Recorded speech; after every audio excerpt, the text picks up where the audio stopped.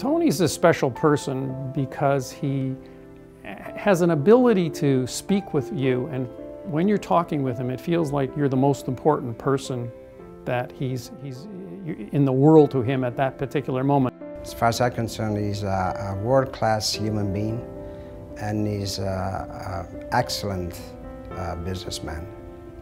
I looked at Tony as more like an older brother to me than uh, a boss.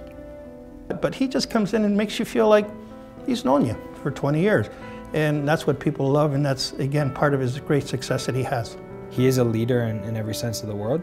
He gives uh, people the, the opportunity to, to reach and achieve their true potential.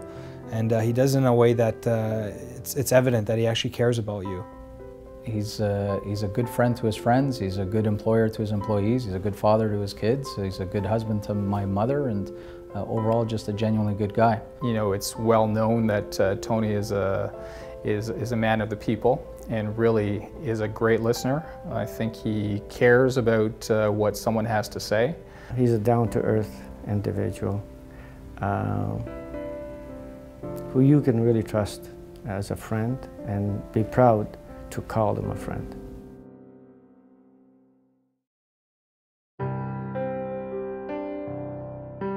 Tony is the type of individual that uh, where you and I take a, um, a seed, for instance, and we look at it and we say, oh, it's a seed. Well, Mr. Falbo looks at it differently. It's not a seed to him, it's a tree. Tony Falbo was born and raised in Cosenza, Italy. His parents, Ernesto and Julia Falbo, wanted to provide a better future for their children, so they decided to immigrate to Canada in 1960. As a 16 year old in Toronto, his first year in his new country, Tony continued a passion that began in Italy and took night school classes in electronics at Central Technical School. As with most new immigrants to Canada, the Falbo family had limited means, and Tony worked to help support the family. My first job was washing cars. So for the summer of 1960, I was at a car wash for about three, four months, and uh, made a living for whatever I could. And then in the fall of uh, uh, that year, I found a job in a lamp factory, which I was working diligently for about three years. But at night, I was going to electronic school. And one day I decided that uh, assembling lamps was not my full-time job. So I decided to go to an employment office on my own uh, and look for a job in electronics. So that's what I did. Uh, the employment office directed me to this new company that was just starting, known as Mirtone. I went for an interview. I was hired. In fact, it was a Thursday afternoon. Uh, and the fellow there told me to come on Monday. He says, no, why Monday? Tomorrow's Friday. I can come on Friday. Tomorrow I can start working. Great, beautiful. And Tony came to work. He was very quiet and he just was very diligent and he did his work and he learned the business from the ground up at that point. I was just a 17-year-old kid, uh, you know, out of school and uh, looking for a job. And I met Tony for the first time uh, very early in the morning. He was already showing his uh, leadership role right from the get-go when I met him at uh, Mirtone that first time. Tony was basically running the whole company. He had reached that, that stage, at that early stage in his life already, running a company.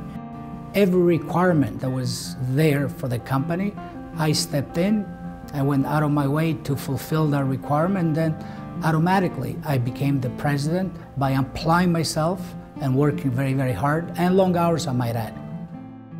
As president of Mirtone, Tony's management style and deep knowledge of the business appealed to clients, vendors, and his employees. I walk in the room, uh, Tony and Sonny were there, and uh, First thing I said, uh, hi, Mr. Falbo. I call him, you know, Mr. Falbo. And uh, his answer was right away, he said, just call me Tony. He's a true gentleman. He came across very strong. He had a really good memory. He seemed to know his business very well. And he knew all aspects, many aspects of the business in a detailed way that I'd never seen before. It was Tony's vision that Mirtone evolved from manufacturing intercoms and guitar amplifiers to the business of designing and manufacturing fire alarms. The fire business was a very stable, uh, legislative business, and I knew right then and there that uh, the fire business was going to go a long way uh, because it's a legislated uh, product, must be in every building, and uh, looking back, I think that was the right decision. He realized that uh, systems that were easy to install, easy to understand, uh, make buildings uh, safer. You know, the first systems he, he developed were systems for you know, daycare centers and restaurants and, and small scale occupancies that could go in easy and make the building safe very quickly. The success that he did, he, he was able to get through with those goals was, was really remarkable. And uh, I think it's, it's related to the way he was, and it's his, his attention to detail which really impressed me throughout. As president, Tony oversaw the change of Mirtone from a $2 million a year business to a $35 million yearly business in the 1980s. By 1988, some of Mirtone's founders had left the business. With innovative and easy to use products, Mirtone expanded across Canada and the U.S. This success made Mirtone attractive to larger competitors, and ownership decided the time had come to sell the business. In 1988, Mirtone was sold to General Signal.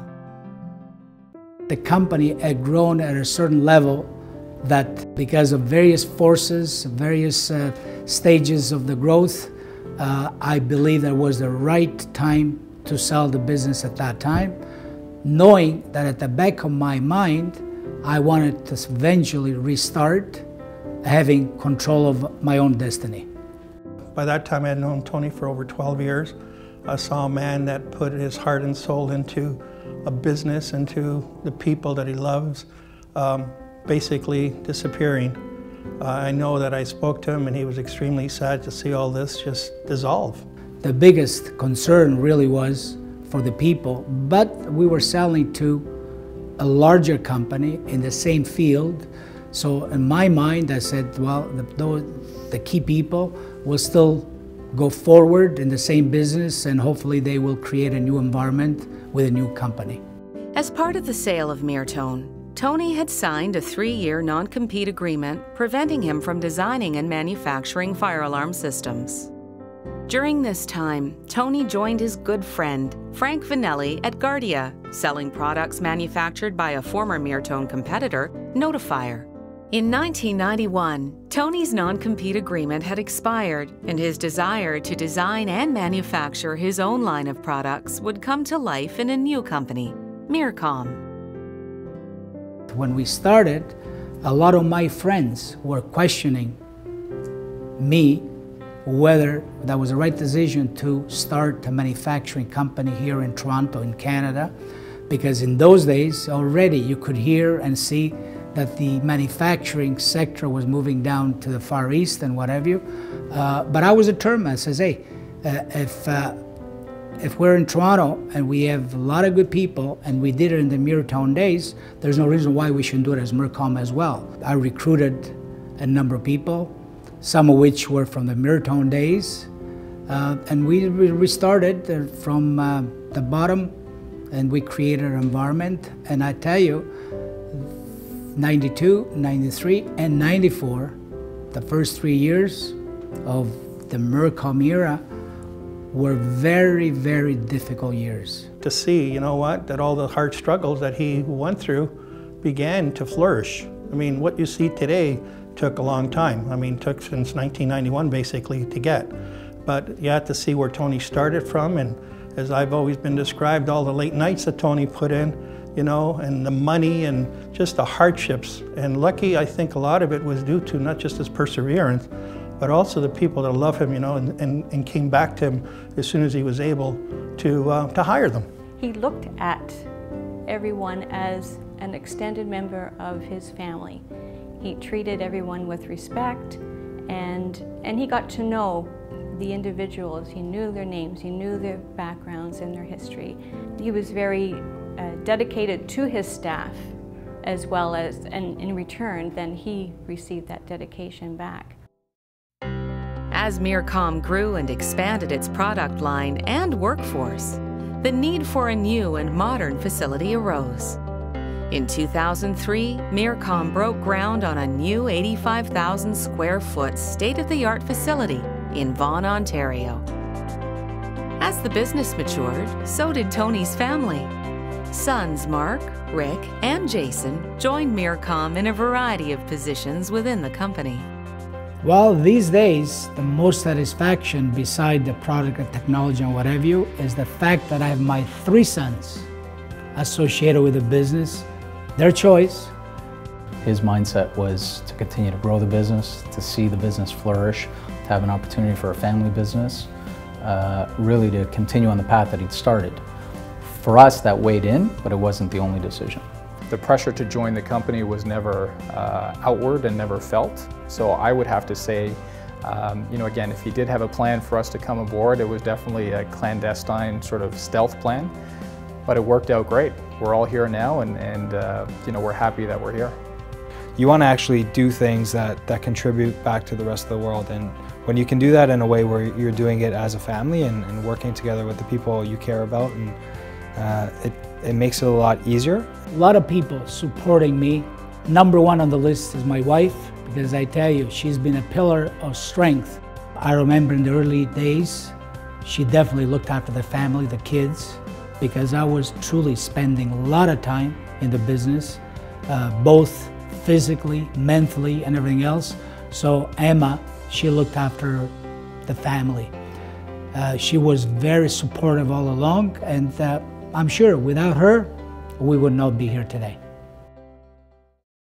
The Mircom group of companies is now a major player in the building solutions industry and has earned a reputation for excellence, innovation, and quality. After 50 years in the game, Tony Falbo, as an innovator, entrepreneur, and humanitarian, continues to seek ways to improve the fire safety of future generations of buildings and the people who occupy them. Mircom has achieved major milestones already. Uh, we're established right across Canada parts of US and some international markets. I truly believe with a commitment as a family and all the people around us, because we have a lot of good people in here and they're part of the company, uh, we can go a long way in establishing ourselves both in technology and expansion of territories worldwide. So looking to the future, we have the talent, the technology, people. So hopefully they will bring this foundation to different heights. Sky is the limit.